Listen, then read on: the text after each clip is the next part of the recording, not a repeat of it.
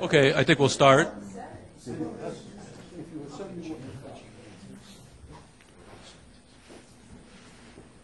Uh, It's a great pleasure today to come back to introduce a former, well, actually a colleague still, but, but uh, we worked together at Case Western for 20 years, Bob Mullen. Um, a little tongue-in-cheek here. There's an imposter out there. You guys have ever seen Dos Equis, the most interesting man in the world? It's actually him. okay, so, so, so there's three words that describe him. I, I'll take the liberty of describing him also as a colleague and friend. Uh, the first one, and for those of you who have met with him today and have talked to him for, for, for a few minutes, uh, 14th century Middle English word, I think. Uh, Charles, you could tell me whether this is correct. It's uh, disarming. He has a disarming personality, very, very pleasant to be with.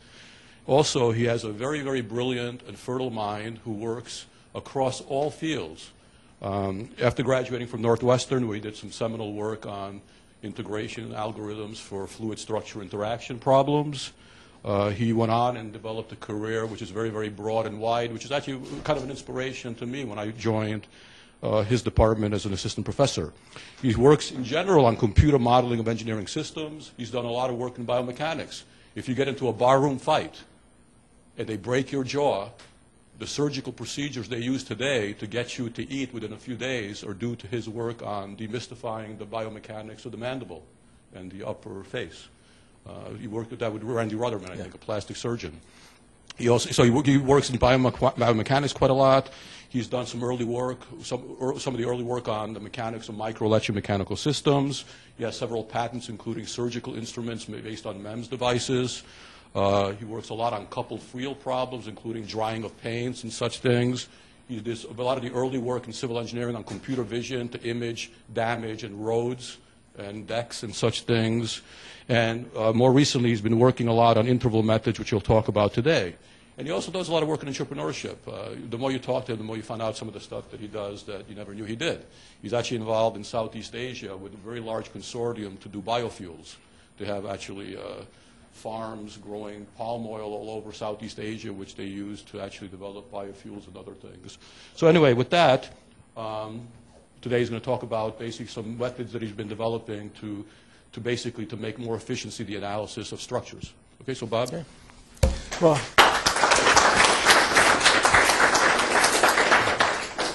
uh, I was actually worried about the introduction because Roberto knows uh, more about me than I care to be shared uh, at a general audience, but uh, I won't respond to any of your comments. Uh, but uh, I do think, you know, that being engineers, uh, you know, one of the things that I see as a goal is not the end of my work being a paper, but if I can find a product on a shelf, or you know, this is a device that's in an operating room, I feel that I accomplish more for you know humanity, and therefore I'm not necessarily satisfied to stop it and hand off the work to somebody else. Uh, so if you have good colleagues and they're willing to put up with you, and you have good administration that'll give you a little bit more time uh, to do something because you may decide that I'm going to do something you know that may not be completely scholarly, uh, you can have a lot of fun. And uh, you know, I still uh, uh, remember fondly having Roberto next to me in a uh, uh, next door office, and you know we'd yell at each other. You can't do that, Mullen. You can't spell. What's the problem here? You know, and we actually worked together pretty well because Roberto concentrates on details and it has to be perfect. I mean, if it's not perfect, I don't know if you know him very well, but it, well, he really wants things right. And I have a tendency to get the broad picture, write down something, and then say, oh, well, you know, uh, I didn't really mean it's x squared. It's x to some power, and I'm not sure what it is. And Roberto would uh, correct all those uh, problems, and together we were a pretty productive team.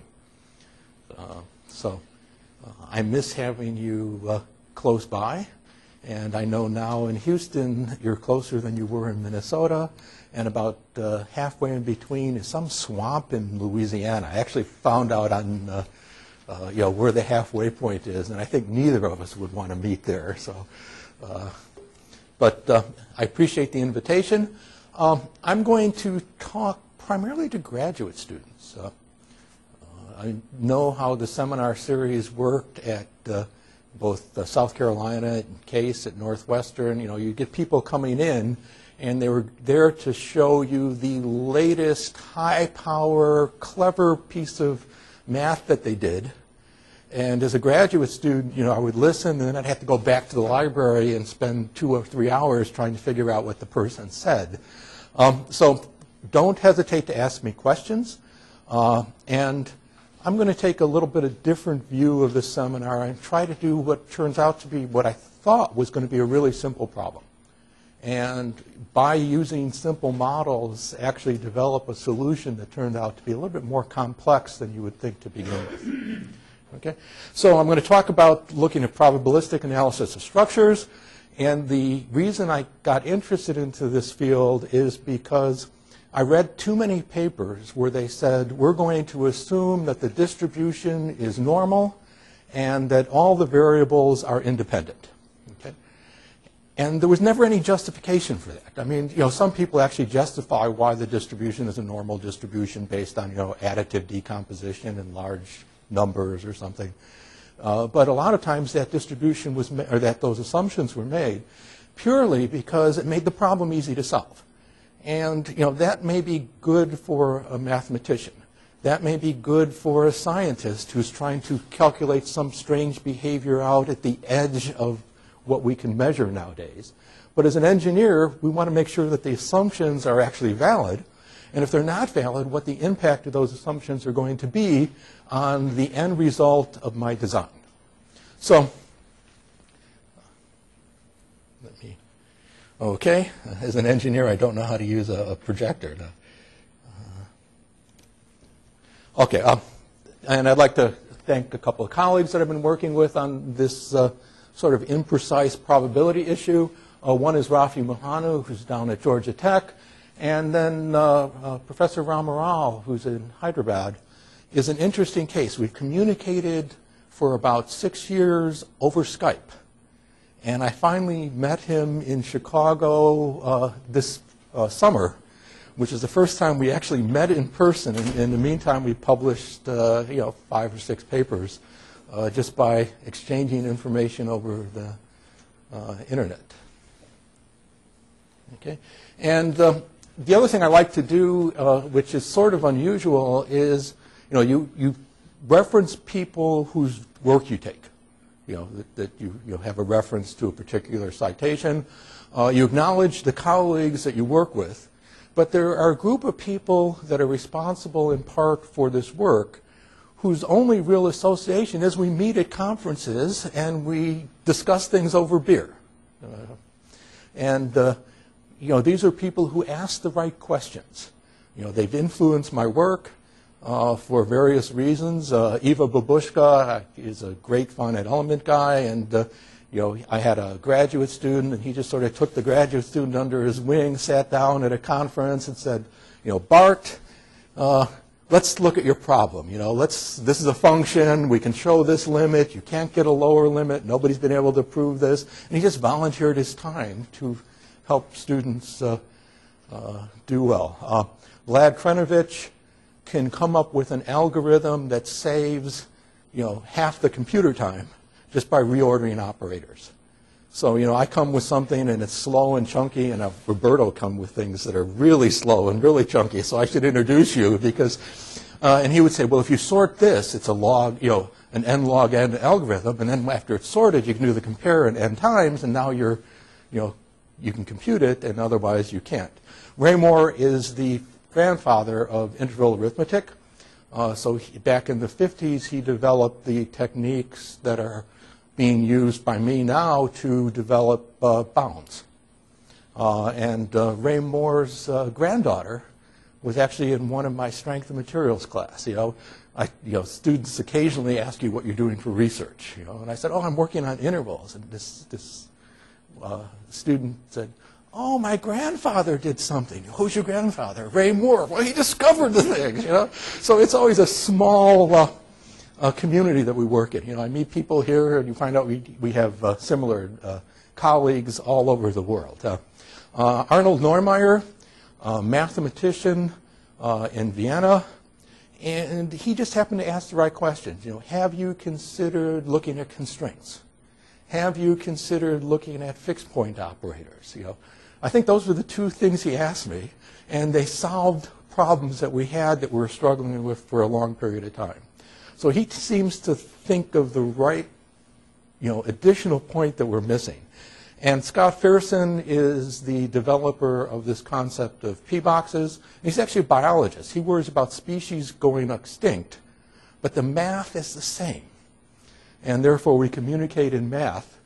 Uh, and you know, every time I see him, I pick up a new idea. He says he gets ideas from me too, but I'm not sure.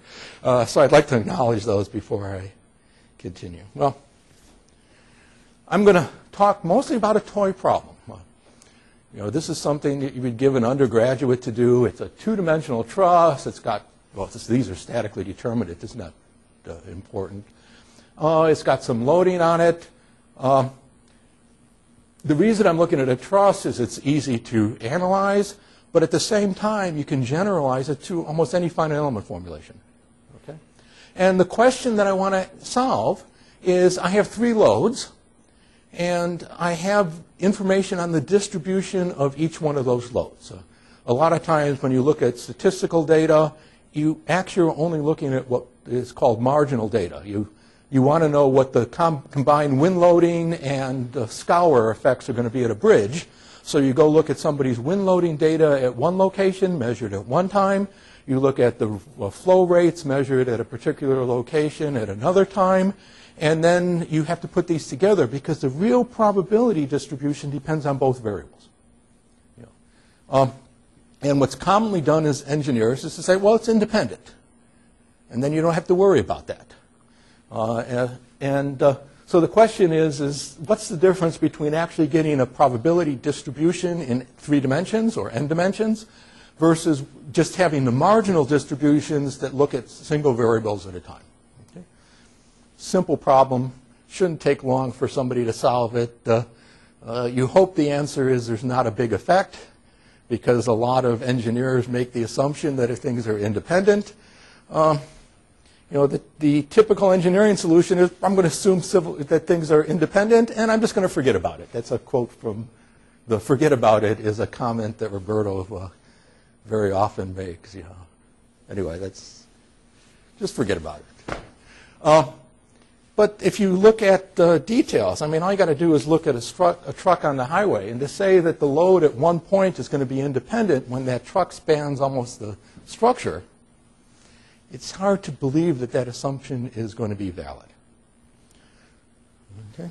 And there's all sorts of examples where dependency was miscalculated and you end up with failures. I mean, trivial examples. Uh, you have a feed water pump in a nuclear reactor. You measure the reliability of the pump. You put three of them there. You multiply the reliability times each other, or the probability of failure. So you know, one is fails one in a million. You put them together, and it's going to fail one in uh, one to the minus 18th power. Right? Just multiply the the three together. Okay.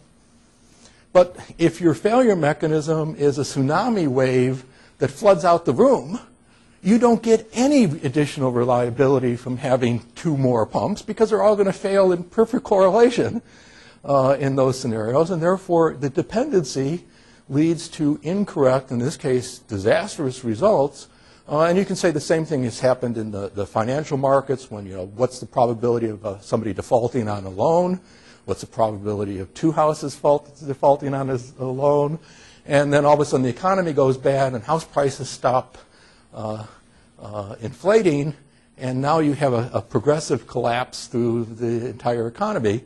And the people who did the analysis had very complicated dependency models. They actually had Gaussian uh, copulas, but they missed the extreme events, and they assumed that the data that they had represented the uh, dependency correctly, and when that fails, uh, you end up with very significant effects.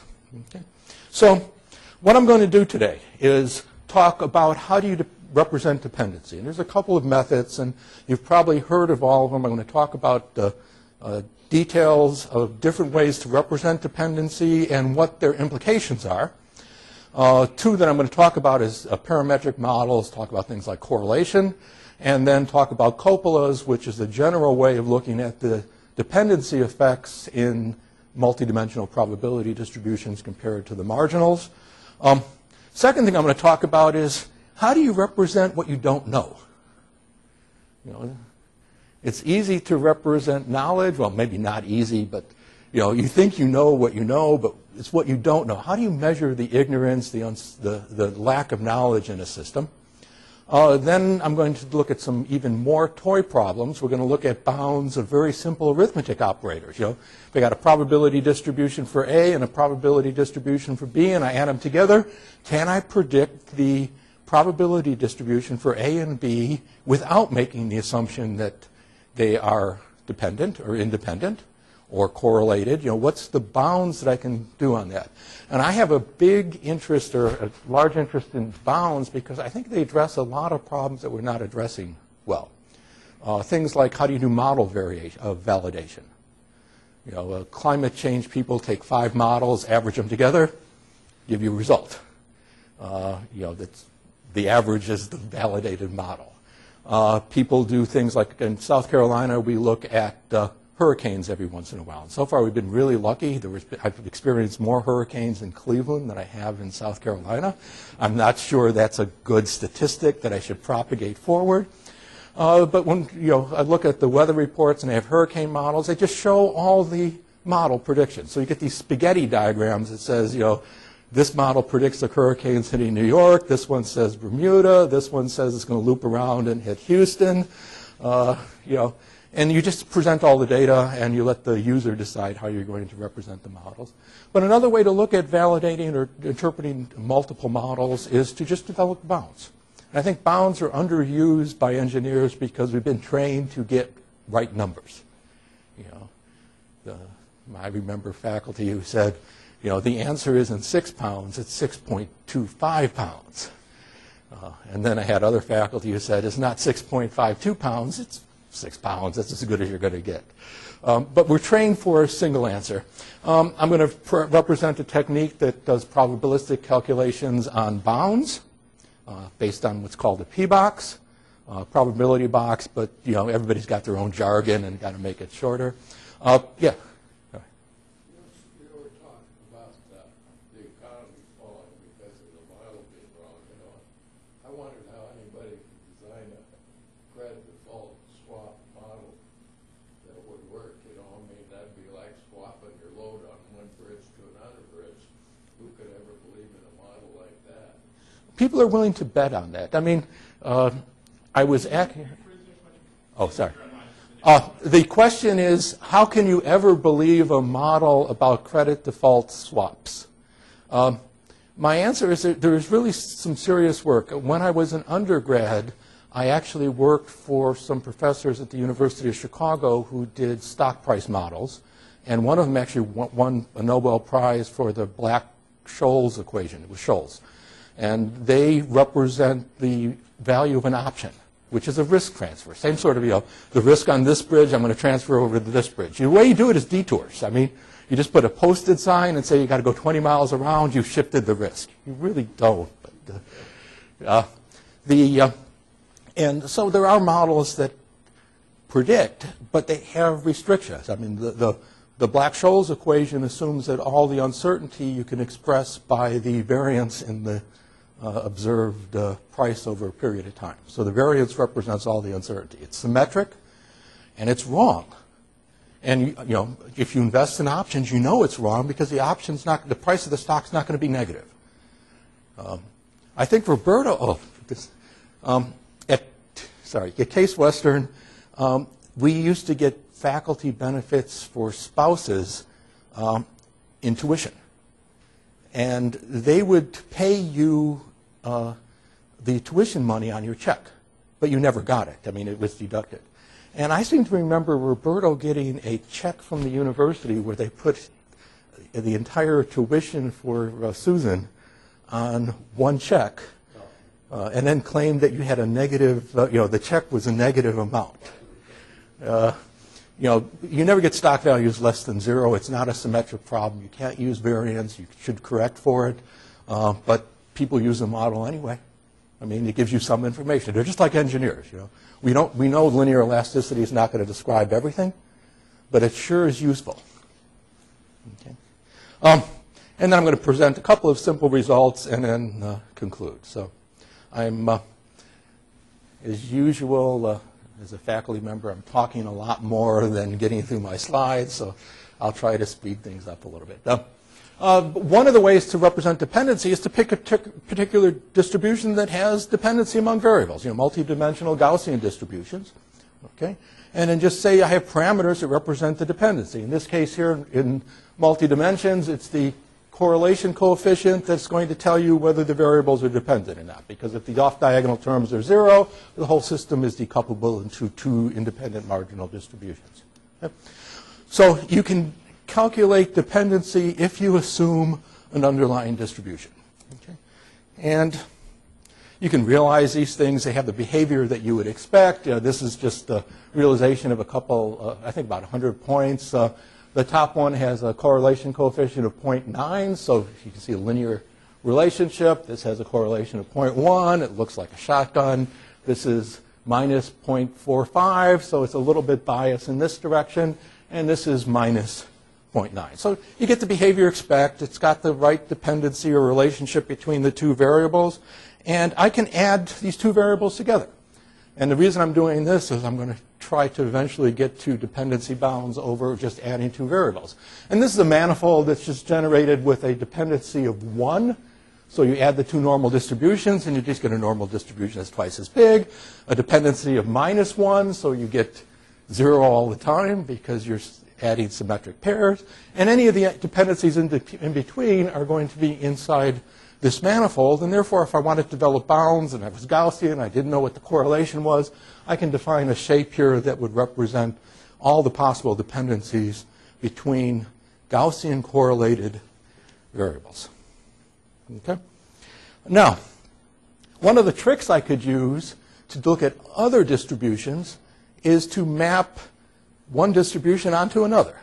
And this is just a functional transformation, uh, and uh, you can map uniform distributions onto Gaussian and vice versa, and we're going to use it a little bit later on. Uh, so one of the things you can do is if I have a Gaussian variable here and a uniform distribution here, if I know Gaussian distributions, I put Gaussian numbers here, pull uni uniform off. If I have uniform variables, I put uniform in, get Gaussian out. Easy to do the transformation, it's just a nonlinear map. So if I have a couple of uniform distributions, I can generate correlated uniform distributions. This is a uniform distribution that has uh, correlation coefficients of 0.9, 0.45, minus 0.45, and minus 0.9. So it sort of correspond to the other ones, except this one gets more of a box instead of a circle. You'd expect that because of the origin of the problem. Okay? Now, and I can add these and I can get a distribution, manifold of distributions of adding two uniform random distributions between 0 and 1. Again, you know, if they're exactly correlated, it's a distribution that goes from 0 to 2. Not surprising. If it's a uh, negative 1 correlation, it's a fixed value at 1. And uh, I should be able to develop bounds that almost would look like uh, two pyramids on top of each other, or two triangles. I mean, there would be a linear bound here, vertical bound here, and a function that's in this space and this space would bound the probability distributions. Okay? Now, if that was right, I probably wouldn't be telling you. Yeah. So the question is, is correlation a good measure of dependency? And this you probably realize as an undergrad in your statistics class. It's an easy measure, but it's the linear dependency that you're extracting. It's the first term in a long series, just like the uh, Black-Scholes equation uses variance as a measure of risk because it's the first term in a long series. Um, and uh, uh, Scott Ferson actually verifies that all these points have zero correlation. And while I'm not sure what the structure is in some of these, um, it's clear that a lot of these have very uh, identifiable structure and have a lot of dependency and yet have zero correlation. So saying that you're going to look at the problem of that bridge, but just by varying correlation functions, is not going to be good enough. Okay? So the real question is, is what can I do when I don't know anything about the distribution? Okay. Well, there may be hope. Instead of doing a Taylor series expansion type uh, operator, let me try to look at the function as uh, the dependency as maintaining some functional characteristic. So one of the other techniques for looking at dependency between uh, random variables, especially the marginal random variables and getting the whole distribution, uh, the idea is to separate issues doing, that have to do with dependency from issues that have to do with the individual vector distributions. Okay? And the idea, again, is, is fairly simple. You take the, the probability density function that you would have for uh, you know, two-dimensional space and convert the way you plot it so that you make the marginal distributions uniform. Okay? So I, whatever the distribution is, I go back to that same figure. I, I look at the cumulative probability distribution and transform it so that the points turn out to have a uniform distribution. Okay?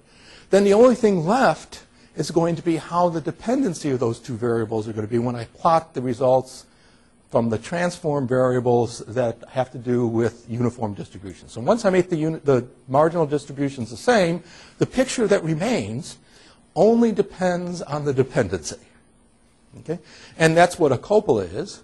And uh, if all it was was a new way to plot data, nobody would pay attention.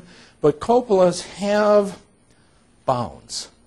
And these are three uh, descriptions of bounds. This is the uh, probability distribution of variable 1. This is the probability distribution of variable 2. And the top is the probability distribution for that event. Okay? And all possible surfaces are not allowed. First of all, since this is actually a cumulative distribution, it has to be monotonically non-decreasing. It could be flat or going up when you write it in either one of these two variables away from the origin. Okay? Uh, just for information, this, was a, this is what an independent uh, distribution looks like. Okay? Uh, but there are two bounds. This is a lower bound and upper bound that uh, uh, come from Frechet uh, that the function has to be between. So even if I have any dependency, and when I talk about any dependency, it means anything that's allowed mathematically, um, I still have restrictions on my solution. So certain combinations just aren't allowed. Okay? And these two bounds are going to allow me to extend uh, the any correlation results to actually calculate what's going to happen when you have uh, any dependency between two variables, but you know the marginal distribution. So you've measured variable A, you've measured enough variable B, you have statistics, you have data, you curve fit, you have some representation of the displacement or the probability distribution. What's the worst it could be? And again, when I talk with undergraduate engineers, they have this mindset that independent has the most uncertainty. I'm not sure what uncertainty means in that respect, but uh, it has the most uncertainty, and therefore it must be the worst case because it's the hardest one for me to predict.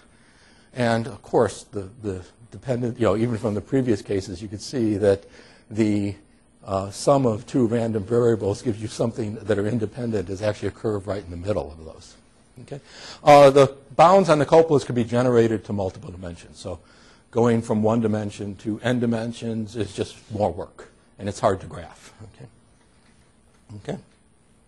So uh, before I give you a solution to adding variables, etc., let me talk a little bit about, so we're going to use the copulas to represent any dependency. How do you represent ignorance? And this is also something that bothers me uh, when I see colleagues making extrapolations. Uh, um, there are uh, a number, oh, shoot, shoot, shoot. Yeah, this, okay. Uh, one of the very common ways of measuring ignorance is to use entropy. I mean, this is the great contribution of Claude Shannon.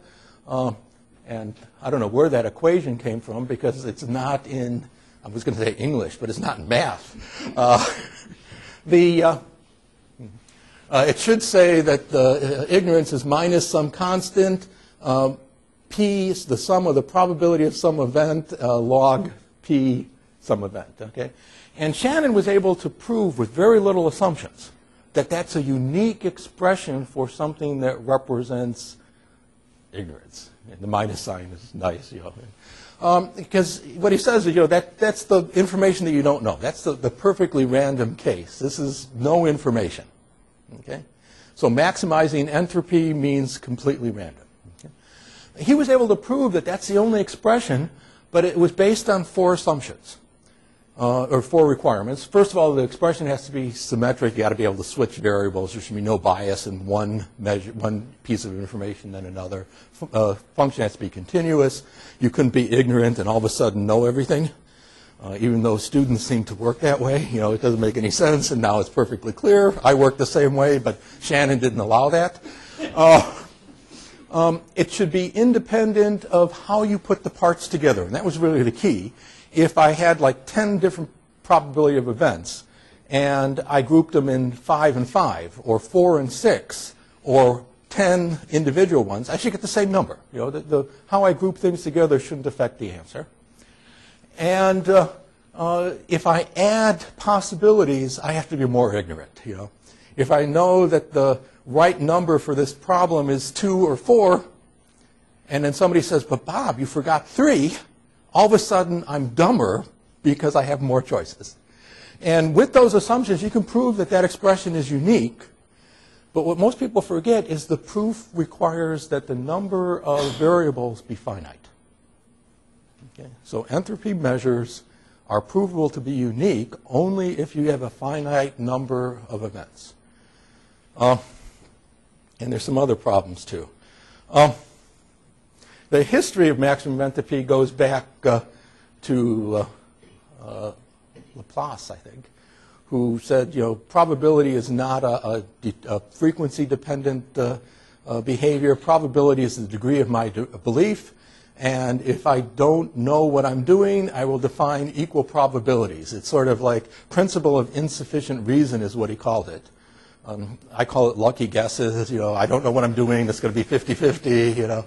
Um, the um, problems with maximum entropy, in addition to going beyond when you have want to do to continuous cases and non-countable cases, um, it doesn't distinguish between uh, ignorance and uncertainty. I mean, it's very possible that I have a coin that if I flip, it's going to be 50-50. It's really a fair coin. And I know it's going to be 50-50, and I can actually use that as an engineer to make calculations and predictions. Um, versus somebody who says, I don't know if it's A or B, 50-50. Ah, and yet, probabilistic point of view, they are both treated exactly the same. Um, and there's a whole body of literature on this in uh, things like Bayesian methods, and there's been a lot of talk about uh, non-informed priors. You know, if, if you don't have any prior information, how do you do Bayesian updating? Well, you take the maximum entropy solution, it's uninformed. Well, if it's a coin toss, it's really informed. Uh, and we'll, I won't talk anymore about uh, Bayesian methods, but uh, uh, they're good for, why well, they're good for learning, they're good for improving, but they may not be the right starting point, and you may be better just doing, they turn out to be algebraically the same as doing things like maximum likelihood estimates, forgetting about Bayes' law and the prior to begin with. Um, so uh, if you believe in maximum entropy as your, or entropy as your measure of ignorance, the uncertainty and, the, and the ignorance comes in. Um, there are other expressions when you have uh, non-countable domains uh, that behave the same as entropy. They meet all the requirements. And, you know, it may be hard to come up with an expression when you have finite number of sets that you can reorder, but if you have a probability distribution and it's mapped to a real line and you have to integrate, integration takes care of that issue, and almost anything you integrate is going to have that property that if you integrate from A to B, or A to C, or A to B plus B to C, as long as you got the same measure when you're done, you get the same results for the integral. Okay? This is actually uh, uh, done in a paper of a colleague of yours, whether you know him or not. He's in the math department here, uh, uh or at least was in 1997. Uh, um, the other thing that really bothers me as an engineer in saying that ignorance is measured by uh, entropy is if I don't know what the answer is, it should not depend on the variable that I pick to describe the process. If I pick stiffness or I pick flexibility to measure, maximum entropy will say, if I pick stiffness, it says take a uniform distribution for stiffness. If I pick flexibility, it says take a uniform distribution for flexibility. Stiffness is 1 over the flexibility, right? At least it was. Uh, and uh, if I have a uniform distribution for 1, it is definitely, the inverse is definitely not a uniform distribution. So it's not independent of scale. You know, the original example for this was in uh, current, or sorry, uh, impedance versus conductance, but you know, civil engineering community, I'm going to translate it to stiffness. Um, so it uh, may not be the best representation of ignorance, but it's the one that most people use. I mean, people say, I don't know what the answer is. Well, I'll take the maximum entropy distribution because you know, everybody knows entropy measures ignorance. Uh, uh, so there's uh, terms like subjective probability, entropy methods. Uh, that's one way to measure it. There's been people who have looked at measuring ignorance in a fuzzy domain and uncertainty in a probabilistic domain.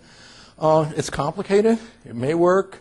Uh, they're friends of mine, so I won't say anything more. Um, the way I think one of the ways you can look at it is just collect the results. I mean, present the data. It may be overwhelming in some cases, but we're no longer restricted to, you know, uh, 15 pages of data on a proposal. We, well, you are in a proposal, but, you know, you can reference things on the internet and store a lot of information.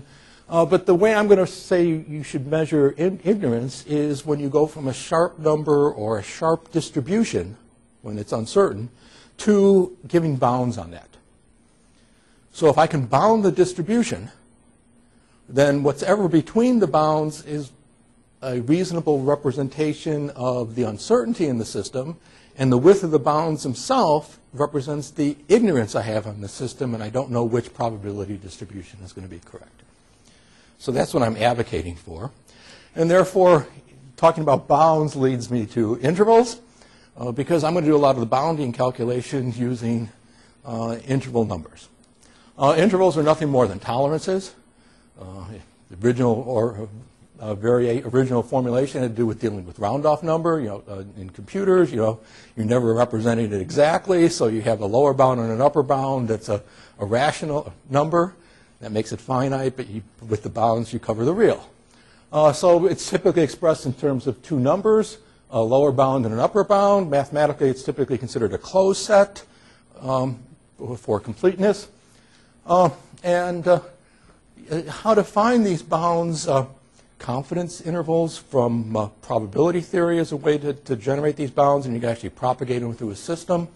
Uh, the uh, you know, limits on experimental results. If my uh, digital display has uh, three digits, then I'm never sure about the, the fourth digit, and I can represent it by bounds. Um, and uh, there may be physics that limit things. So the, uh, I'm sure in your parking garage that there are no trucks over 25 feet in height. Because if there were, there would be no parking garage. So, I mean, the, the, physics of the problem give you constraints. And there's a lot of cases where people do bounds tests. You know, does it fit in this, this part fit? Yeah, it passes. Does it take this load? Yeah, it passes. So there are verification methods.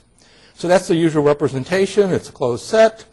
Uh, you can develop matrices. Uh, uh, linear algebra extends. Uh, the interval values of vectors are written in terms of interval values of components. Um, this has some bad properties when you go to really high dimensions, and this is one of uh, uh, Arnold Neumaier's comments. He has a system based on what he calls clouds. It's a very descriptive system for ellipses. Um, and in small problems, if you bound something by an ellipse versus bounding it by a box, it isn't bad, but as the dimension of the problem increases, the box gets much bigger compared to the ellipse, and therefore for high dimensional problems, he may have a better, he has a better solution. Uh, but this is easier to calculate with. And uh, there are typical uh, interval operators. You can take uh, any program you want and overload the operators, and all of a sudden it becomes an interval code. Uh, the only thing that's a problem, well, let me get to the next slide. Um, and you, the signs matter. So things like multiplication are not straightforward because if you have a negative number on an upper bound, it may change the lower bound significantly on the, the product. Um. It is commutative, it is associative, it is not distributed. Uh, so you have to be very careful in not assuming that there's an algebra. And that's a little bit strange for uh, uh, engineering students. You know, you, you assume that you can do algebraic manip- manipulations all day. This, uh, people even talk about interval algebra, and it's a misnomer if it's used in this sense. And there are ways to make it into a, a make it closed under algebra, but then you lose the idea of bounds because you have to allow bounds that go from two is a lower bound and minus six is an upper bound. Then you can close it under distributive properties, but then you don't know what to make as far as sense out of the answer. So I'm going to extend intervals to probability distributions. And this is going to be a p box, a probability box, and all I'm going to do, I'm going to look at the continuous distribu- or cumulative distribution because it's got nice bounding properties other, anyway. It's monotonically non-decreasing. It's going to be increasing. It starts at zero, ends up at one, and it can't go down. So the bounds look a little bit better and easier to represent. Uh, it was first, actually, I gave Scott Ferson the uh, credit for it. It's some group at uh, Sandia, uh, but there's actually a PhD thesis uh, out of Australia in 1989 that describes this in perfect detail. Okay. So, probability box. This is actually a picture from Scott Ferson's. It's not mine. Uh, I think all the lines are monotonically increasing, but all you're doing is saying any distribution that are between these two bounds is included in your possible set that you're going to calculate with. Okay? So you describe the bounds. You know, it's not a manifold. It's not parameterized. It's any continuous distribution that fits among this set. And that's going to be uh, defined in terms of the lower bound and upper bound. So let me get to dependency bounds. Uh, um, this is even a nicer toy problem. Uh, it wasn't considered a toy problem. It was actually proposed as a problem by Kolmogorov, which people take seriously just because of the name. Um, but this was, can you tell me what the bounds are on two probability distributions when I add them together uh, when I only know the marginals? Okay? Um, and it was proposed, I think, in the late 50s. Uh, it was first solved by Makarov, not a, you know, another high-powered guy, uh, in 1981. Uh, very complicated proof, uh, without copulas, without realizing the connection between that. And then uh, Frank at IIT actually developed the uh, uh, solution that I've used as a proof, and it's just based on copulas. You take the lower copula bound, upper copula bound, look at the worst case, a little bit of optimization, and you're done. Nice, simple proof applies to all operators. It's really easy to extend. So, what's the result? If I have two uniform distributed numbers and I add them together, the independent cases is S-shaped curve. And, you know, it's the first, if you keep on adding uniform distributions, you'll eventually end up with a normal distribution, which will be similar to S-shaped curve. Okay? Not surprising. The actual bounds are not the triangular distributions that you get from any correlation. The actual bounding values turn out to be a line here and a line here. So these two uh, linear curves represent the p box for the sum of two random variables that are uniformly distributed. Okay? And it's well larger than the any correlation case. And in fact, you have to be clever to find the dependency that produces those bounds. Uh, one thing I should say are these are bounds. It doesn't mean that this is a solution. This is a bounds to the solution. There could be a whole bunch of probability distributions that are realizations, and this may be just the bounding collection of points that it actually is. Um, this is the correlated values from before. This is actually a series of parameterized distributions that are discontinuous. You assume a dependency, and then you jump up and assume a continued dependency. Um, it's linear, so it preserves the normal or uniform to uniform. You don't, uh, both variables are uniform. Each one looks something like this, jumps up, comes over, jumps up. Uh, but the bounds, these are the bounds that you would get. Uh, so let me talk a little bit about numerical methods on P boxes. Uh, I'm almost out of time. Okay. Um, it's the usual thing that happens. You know, you time it at the airport, and you have plenty of time in a half hour. And, uh, yeah. um, there are various techniques to doing manipulations or calculations using p-boxes or probability bounds, and they mirror what you can do in probability theory. So we can do calculations on p-boxes based on Monte Carlo techniques. And what happens is when you do Monte Carlo simulation with p-boxes, the Monte Carlo realization is an interval because you don't know where you're in on at the p-box, and then you do interval finite elements, collect the results, sort them, and you get a result. So it's Monte Carlo with intervals. Uh, you can do p-box calculation. Uh, we can develop overloaded operators. I have a C program that you know just declare a p-box, and all of a sudden the operator is a p-box, and I add them together, and I get another p-box, and uh, I can do computations uh, similar to if you have probability distributions that are discrete, and you try to do things uh, uh, on uh, probability arithmetic, and you may be able to. I think you can do polynomial chaos, and this is something I'm looking at right now, uh, because there, it's not you, what you do is represent the probability distribution by a parametric expansion of uh, orthogonal polynomials. Um, there's questions on uh, whether you're actually including the results or just estimating results. Uh, I may talk a little bit more on that. Okay. So the P-box Monte Carlo, I just described it.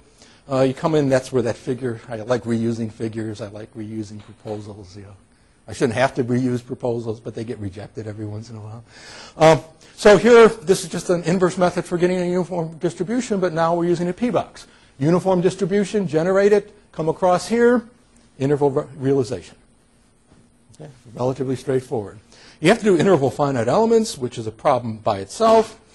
Um, when we first started doing interval finite elements, we found out that a whole bunch of people have tried this because there exist interval libraries. It looks like a quick paper. You just say, I have a finite element code. Instead of real star 8 in Fortran, you say, you know, uh, interval star 8, compiles, runs, gives you bounds. Bounds are correct, and they're completely useless. Uh, the first time I ran this on a structural problem, it told me the deflection at the center of a reasonably designed bridge was somewhere between minus 57 kilometers and plus 98 kilometers. It's right. Yeah, there's no doubt. But I knew that before I started the calculation, and I really like to get answers that you contribute. Um, to get the right answer here, we had to break all the rules. We didn't assemble the element stiffnesses. We kept the interval parameters for element stiffnesses, pre-multiplying the stiffness, so we kept the dependency among variables. We stopped using distributed laws. Okay? Um, so we had to introduce constraints. You end up with a system of equations where the stiffness matrix is, the K is actually singular because it's just a stacked element stiffness. You got a zero on the lower diagonals. Uh, the people that we first presented, it was a SIAM conference, and they thought we were crazy. We took a really well-conditioned uh, system of equations and made it look about as bad as you can have a system equation be. This works. And it's a good thing about finite element techniques is the, the nice properties still remain. Even though it looks ugly, it's still positive, definite, symmetric, has this nice uh, condition number if you actually calculate it. So it looks horrid, but you get good results. Um, we've, uh, uh, if you try doing this exactly, it's actually NP complete. Uh, and Vlad Kreinovich uh, proved this. Uh, so that would mean you can't solve anything because you know you double the size of the problem it becomes impossible. But good engineers can get close enough bounds. So we developed techniques based on fixed point theorem that iterates, and you know I can't prove it's the that they're the tightest bounds I can get, but they are always bounds, and they seem to match the all combination data that we generate with a lot of computer time. Um, and uh, there's some other issues in how to do nonlinear analysis, et cetera, that I'll skip. I'll skip the details here. The equations look messy. Uh, and uh, what I'm going to do then is uh, look at uh, p-boxes and uh, do numerical calculations to try to figure out what the dependency is in that truss. And this is uh, one of the implementations. Uh, one of the implementations we have is to use intervals to bound the p-box. Okay, so that makes it more of an interval problem and easier to do in the implementations of arithmetic operators on intervals. Uh, this is, again, a toy picture. You would never use this coarse of a discretization of a probability distribution.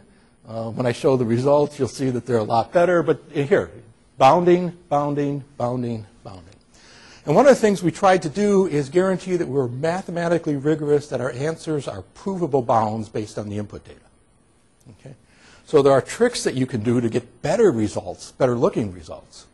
You know, this would be guaranteeing bounds. This would be taking averages. This is a better discretization. It has less error into it. You know, this is the best discretization of piecewise constants you can do on that shape. Uh, we've stuck with the bounding condition because my end results then are provable to be bounds on the response. Um, looked a little bit about polynomial chaos. Uh, uh, John uh, Red-Horse at Sandia has published a couple of things. There's a Galerkin, uh, when you do an infinite series, it looks nice on paper. When you actually apply it, you truncate it and map to the same polynomials. So you do a Galerkin projection on the same space over and over again. That's not a bounding operator, so I'm not sure that we're actually preserving the bounds. And on certain parameters, the bounds will cross. And then you're back to the any correlation where the line crosses and you have one point that has to be there, and that's not necessarily representing all the ignorances. So let me give you some results. I'll only give you one. Uh, this is the first problem. Uh, cross-sectional geometry, elastic module. This is a reasonably designed truss. Um, I'm going to define the loads based on uh, uncertainty uh, or confidence intervals. So I actually had collected data. Somebody else collected data. I pulled it out of a textbook. And then fit uh, using log normal distributions. Uh, this is the confidence bounds based on the data set that we had. I'm not going to print up the data. Uh, that would guarantee the mean parameters, uh, mean to be within these two values. Okay? And I'm going to concentrate on 90%. You can do any calculation and propagate it through. You have to be a little bit careful how you do this because if you just propagate it through, you know, the results are no longer confidence intervals. Uh, but there's some recent work that allows people to propagate confidence intervals through calculations but then you can't do any dependency right now. So you can do one or the other, but not both. And, uh, uh, here's your answer. Uh, this is a comparison between the uh, discrete p boxes, you know, the overloaded operator on a finite element code, and the Monte Carlo technique when they're independent. And the discrete p boxes always uh, are outside the true solution. The Monte Carlo, because there's no guarantee that you're going to converge from one side or the other, uh, you're just going to converge. Sometimes it's inside, sometimes it's outside.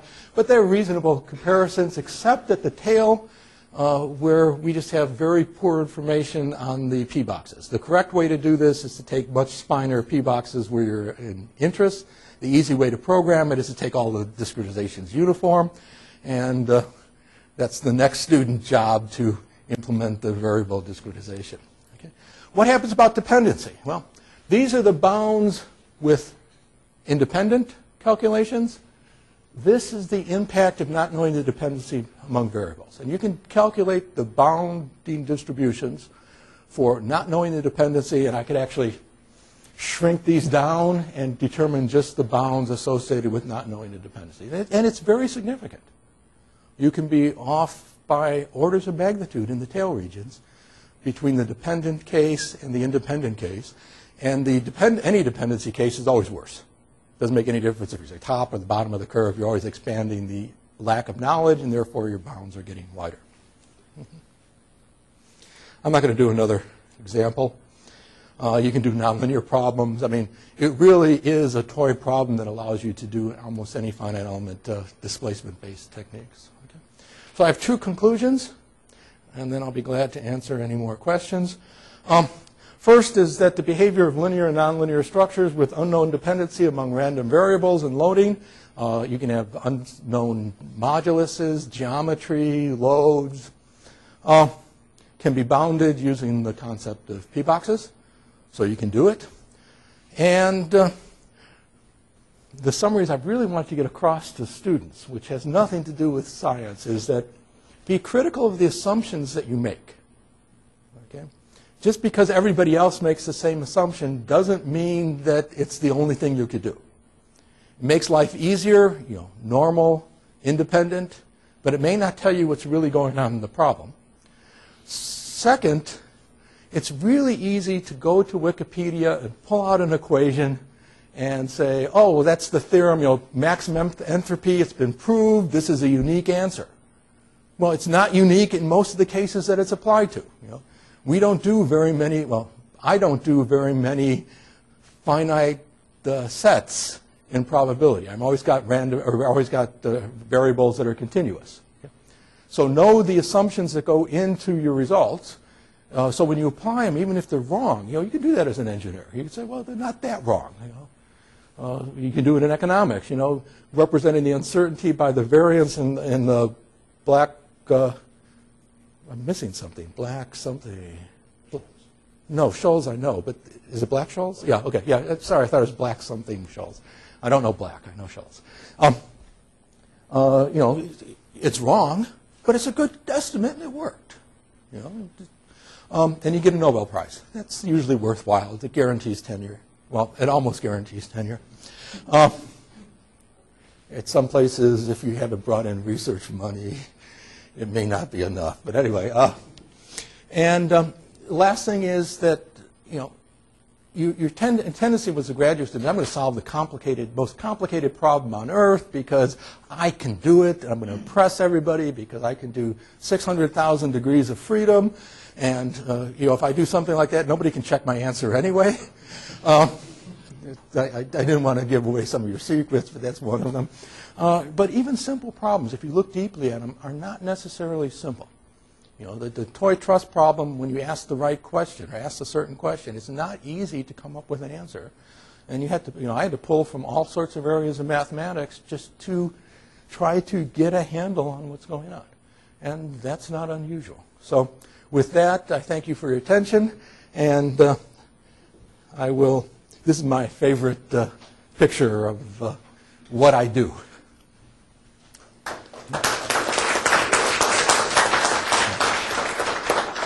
As usual, if you have questions, please wait for the mic. Questions? Randall?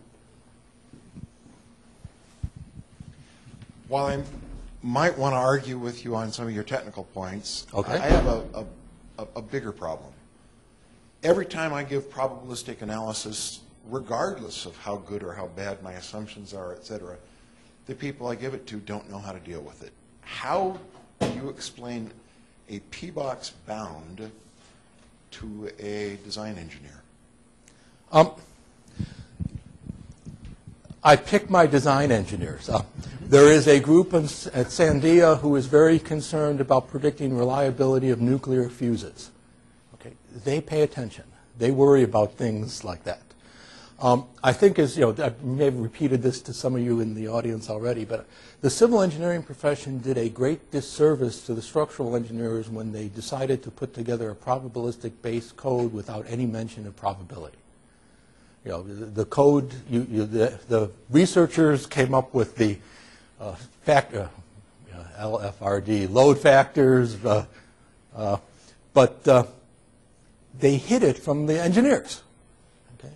Uh, the ABET committee uh, on accreditation, I think, just re- well, removed uh, probability and statistics from the ASCE program criteria. I think it may be back. I mean, it goes back and forth, and I'm, I got time before I have to worry about that again. But um, you know, for some reason, what I think is crucial to an engineer, we have to determine how reliable something is. If it's over reliable, it's not usually economically feasible. It's good that computers break. Okay? Because otherwise I'd be still using card punches. You know, the machine would be working and there'd be no technology advances. Uh, it's not good that the computer flying the plane that I took to Minneapolis broke or didn't break. But I mean, there I want more reliability. Um, I think we have to think in terms of reliability and teach students to think in terms of reliability because that's the only way you're going to change the profession is to change them while they're students. Um, I, I, can talk forever. I'm not going to, but um, there is, yeah, the, the, the knowledge of most people about probability uh, is dangerous. Okay, you, you assume that everything is simple, you know, 50-50, oh yeah, I can multiply by half, it's a quarter when I take two of them, I understand probability, I'm done. And it's a complicated field. There's a, a lot of meat into almost everything. Um, so I can't answer your question, uh, but we should do structural design with probability in mind. There are mechanical engineering people that actually do reliability design, uh, I think close to being correct. And they make assumptions, but they know they made the assumptions. Some questions? I don't want to scare people. I won't answer all of them that long. Yeah. Yes, hold on. Oh, could I just talk to the mic because we're recording it? I was wondering if you looked at the I-35 bridge falling down. You, you looked at that with probability. Um, uh, probability was one. It happened. I have no uncertainty that it's going to happen. Yep. Uh, uh, that was an easy question. Next question. Uh, uh, I have looked at more complicated structures. Uh, I've done, you know, uh, I mean, I brought something. I can do finite elements with interval techniques. I mean, it's not a, a problem. Uh, it's also very efficient uh, compared to alternative looking at combinations, doing sensitivity analysis. Um, the problems that I have looked at are smaller and more critical. Now, I know bridge going down is critical. Uh, one of the areas that I'm working with a pharmacist on, uh, I have a colleague in South Carolina who came from Northwestern, uh, who is an MD looking at the safety of drugs. And he can identify side effects based on s- popul- or, uh, that occur one in a million, one in 10 million. And his trick that I finally realized is he uses importance sampling. He doesn't know he uses importance sampling, but he realized that if a physician doesn't know what's wrong with you, they will send you to have electrophoresis. You know, that's one of the techniques. I don't know what's wrong. Send him, treat him with electrophoresis. Get something out of his blood. There has to be something in there. You know, it's like bleeding when there were barbers in the 18th or 17th century. Um, so he has, you know, there's seven sites around the country that do electrophoresis on large number of populations. He monitors those sites. He works with the people there. When they see a cluster, they look at the drugs that they've taken, and all of a sudden he's been able to, well, he does well in publishing in New, uh, New uh, England Journal of Medicine. He, he claims that there's black boxes, which are what they put, the FDA makes you put in when there's side effects that may be dangerous. And he, every time there's a commercial that you hear about a drug and it says, you may have, if you have serious muscle pain, which is one of the common side effects that trigger a reaction that will kill you. Uh, you know, if you see the warning that says, you know, may cause muscle pain, see a physician immediately, Charlie Bennett did it. I mean, that was his work by importance sampling. So we're trying, I've been trying to get the SCDOT to share their maintenance records. And they now have a, you know, the data is actually available. It's not very clean, uh, and construction records. Um, and I postulate right now, and, and you guys can do the work if you want, because I'll never probably publish it because I'll never get around to it.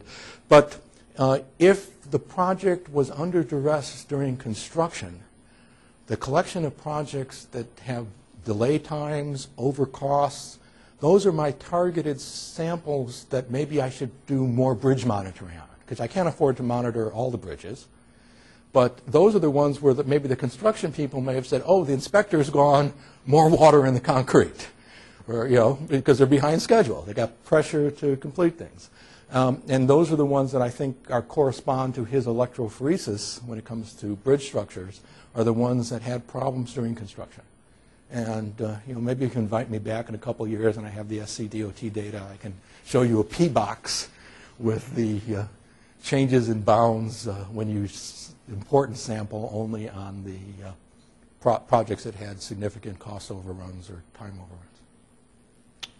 Yeah, Yeah. One more question from uh, Charles Young, and then, by the way, you guys, I'm sure Bob will be Oh yeah, more I'll be happy to answer answer questions of the wine and questions cheese. afterwards.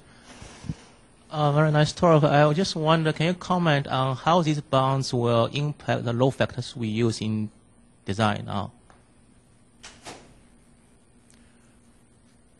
The safety factor for loads. So if we consider interdependency of the loads, how that will change the load factors we use?